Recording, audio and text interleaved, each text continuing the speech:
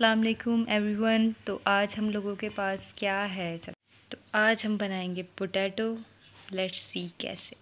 And now the cutting of potatoes is finished basically हम इसको जो है वो हम चिप्स की शेप में इसको थोड़ा बहुत जो है वो कट करने की कोशिश की गई है।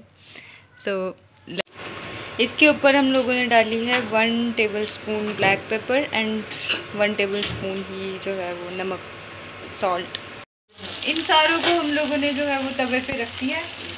अब इसके अंदर हम लोग डालेंगे थोड़ी सी red chilli flakes to enhance इस टेस्ट अच्छा इसके ऊपर अब हम ना ढक्कन ढक देंगे।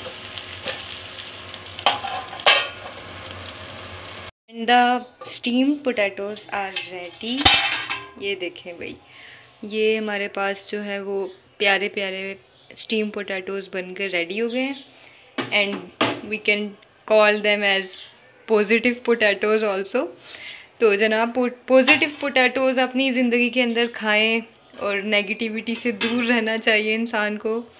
तो मेरा यही मैसेज है कि आप लोग ज़्यादातर अपनी ज़िंदगी के अंदर पॉजिटिविटी लेके आएँ और नेगेटिविटी को वैसे भी इंसान को अपनी ज़िंदगी से निकाल देना चाहिए। So stay healthy and stay positive अच्छा अब इसके कुछ बेनिफिट्स जो हैं वो हमें पता होने चाहिए कि पोटैटोज़ जो हैं वो हमारे लिए कितने ज़्यादा बेनिफिशियल होते हैं। एक तो इसकी एक सर्विंग जो होती है, जैसे हम जैसे कहते हैं एक पोटैटो अगर हम डेली लेते हैं तो हमारी फिफ्टीन परसेंट आयरन की रिक्वायरमेंट पूरी होती है।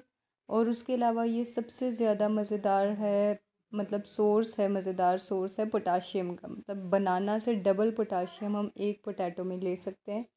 इसके अंदर पोटाशियम होता है, मैग्नीशियम होता है, जो कि हार्ट फ्रेंडली न्यूट्रिएंट्स हैं, जो कि हमें अपनी डाइट में डेली शामिल करने चाहिए। तो अगर हम एज अ स्नैक एक बॉयल पोटैटो या एक स्टीम पोटैटो लेते हैं तो बहुत ज़बरदस्त है हमारी डाइट के लिए। और उसके अलावा ये हमारी आयरन की डेफिशिएंसी को फिल फुलफ़िल करता है, तमाम इसके अंदर B vitamin especially B six इसके अंदर मौजूद होता है जो कि आपके मेटाबॉलिज्म के लिए और मुख्तलिफ़ किस्म के जो हमारे सिस्टम प्रोसेस चल रहे होते हैं, उनके लिए बहुत इम्पोर्टेंट होता है।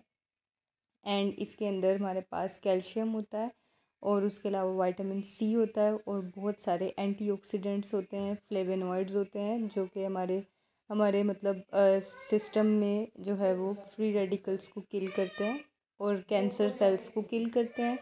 तो ये हमारे डाइजेस्टिव सिस्टम के लिए भी बेस्ट है और हमारे गट फ्रेंडली बैक्टीरिया के लिए भी बेस्ट है। सो टेक केयर अल्लाह हाफिज़। अपना बहुत ख्याल रखें।